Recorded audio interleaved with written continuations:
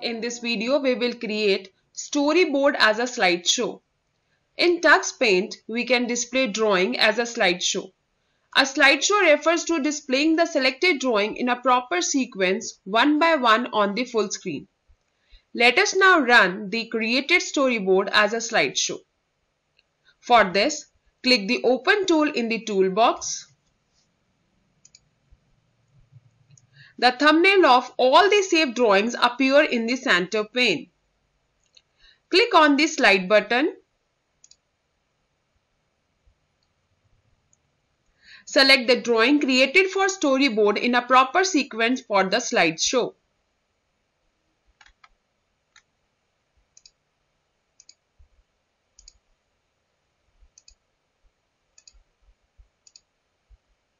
Notice the selected drawing are marked with the numbers.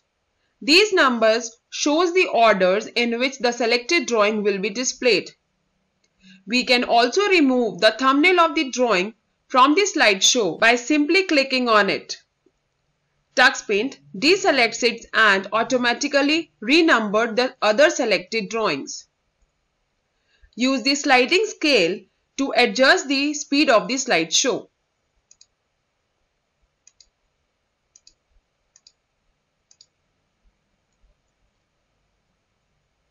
Finally, click on play button to begin the slideshow.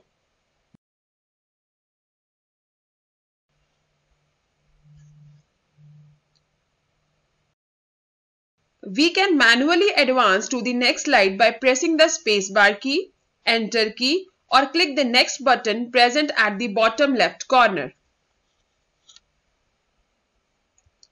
To return to the slideshow picture selection screen, click on the back button present at the bottom right corner.